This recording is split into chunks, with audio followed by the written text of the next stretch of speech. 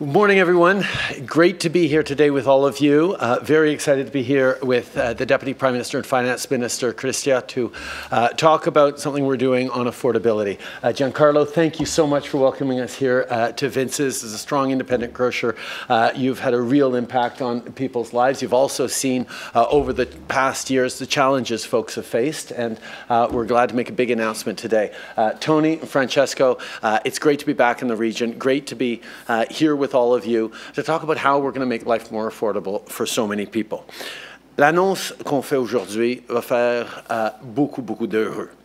La trajectoire de notre économie est dans la bonne direction. On est en train de voir l'inflation diminuer, on est en train de voir euh, les taux d'intérêt diminuer, on a une bonne croissance économique prévue pour 2025, euh, on est en train euh, de voir l'économie reprendre, mais en même temps, les gens ont besoin d'aide. C'est pour ça qu'on est allé de l'avant avec plusieurs mesures qui sont, enlevées de la sont en train d'enlever de la pression sur euh, leur, euh, leur, compte de banque, que ce soit les soins dentaires qui aident euh, les aînés et d'autres, que ce soit des places en garderie à 10 dollars par jour à travers le pays qui enlève des milliers de dollars de pression euh, sur les familles, que ce soit euh, le programme euh, de, nourriture dans les écoles qui va enlever de la pression pour les parents, que ce soit d'autres initiatives comme l'insuline ou, ou, les contraceptions sur ordonnance gratuites.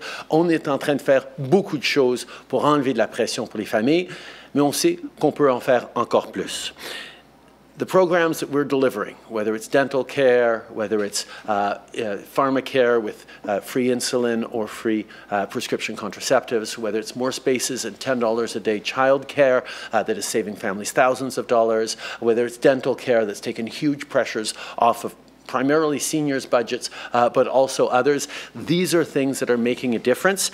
but at the same time, Canadians are still struggling to get by. These, pressure, these uh, elements have taken off pressures, but there is more to do. As the holidays approach, families, especially parents, are particularly worried. Canadians have been through a lot. They work hard. We see that. We've been able to uh, get through the past couple of years. Everyone had to tighten their belts a little bit. And now we're going to be able to give a tax break for all Canadians. For two months, starting December 14th, we're going to remove the GST, HST from groceries. 100% of groceries, all groceries. We're going to remove the GST from restaurant meals, takeouts, fast food. Removing the GST from beer and wine. Removing the GST for essentials like kids' clothing, footwear, diapers, and toys, all tax-free, removing the GST and HST. For two months, Canadians are going to get a real break on everything they do. We also know that there's more we need to do, particularly for working Canadians. So if you worked in 2023 and earned up to $150,000, we're going to be sending you a check for $250 in just a few months. Our government can't set prices at checkout, but we can put more money in people's pockets. The Working Canadians rebate of $250, which will be uh, sent to people in April. is going to give people that relief they need. And the tax break uh, over the next two months He's going to help on the costs of everything as we approach the holidays, as we get into the new year. These are things that recognize that people are squeezed and we're there to help.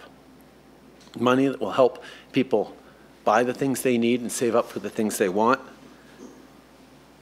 And the final comment is that I really hope that all parties in the House get behind this so we can pass this quickly so that Canadians can get this relief as soon as December 14th.